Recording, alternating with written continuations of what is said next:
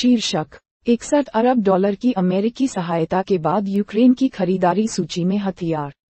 नवीनतम विकास में, संयुक्त राज्य अमेरिका ने यूक्रेन के लिए इकसठ अरब डॉलर के सैन्य सहायता पैकेज को मंजूरी दे दी है, जिससे देश की रक्षा क्षमताओं में उल्लेखनीय वृद्धि होने की उम्मीद है। सहायता पैकेज में वायु रक्षा, प्रणाली, तोपखाने और लंबी दूरी की मिसाइलों सहित कई प्रकार के हथियार शामिल हैं। विवरण विशेषज्ञों के अनुसार, इन क्षेत्रों में अमेरिकी समर्थन यूक्रेन में संघर्ष को स्थिर करने के लिए पर्याप्त माना जाता है। सहायता पैकेज यूक्रेन को पिछली अमेरिकी सैन्य सहायता से एक महत्वपूर्ण वृद्धि है। और यह ऐसे समय में आया है जब रूस ने नागरिक बुनियादी ढांचे पर अपने हमले तेज कर दिए हैं।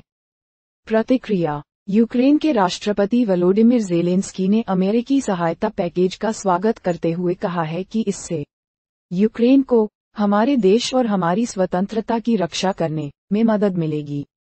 सहायता पैकेज की नाटो। सहयोगियों ने भी प्रशंसा की है, जिन्होंने कहा है कि इससे यूक्रेन की रक्षा क्षमताओं को मज़बूत करने में मदद मिलेगी।